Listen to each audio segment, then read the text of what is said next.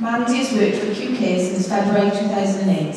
In the short time she's been with QK, she's proven to be a very reliable support worker who gets on with all her service users. Mandy has achieved NVQ and health, health and social care level 2.